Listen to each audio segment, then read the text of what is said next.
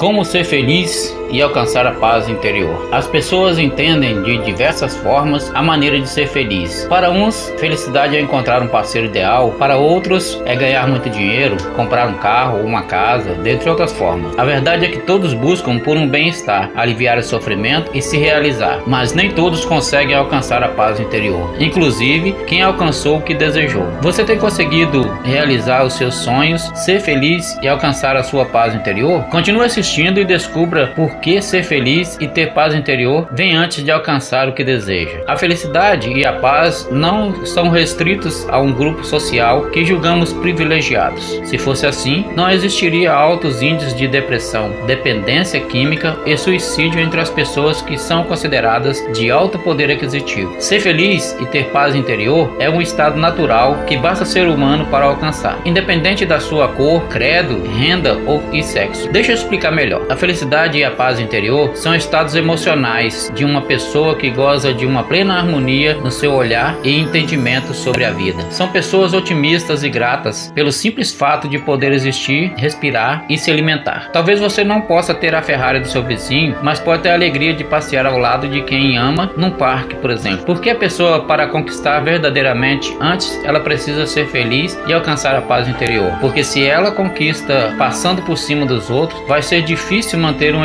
equilíbrio emocional, além de colecionar vários inimigos ao invés de amigos, acabando sozinha e desconfiando de todos. A pessoa, quando é antes de ter, já está no estado natural de felicidade, uma vez que a pessoa, quando é antes de ter, já está no estado natural de felicidade, uma vez que já tem tudo, tem a si mesma. Também ela sabe quais são os limites e o que precisa para se desenvolver, dando um passo de cada vez rumo à autorrealização com alegria e superando todas as adversidades. Para mim, o sentido da vida é poder fazer, transformar e realizar, usufruindo e desenvolvendo algo que já faz parte do seu DNA. A sua capacidade de te fazer feliz, ser otimista e manter a, a serenidade, mesmo quando você não alcança o que desejou naquele instante. Está tudo certo, sou grato por tudo, nada que um dia após o outro e uma nova chance para recomeçar, aprender, crescer e realizar.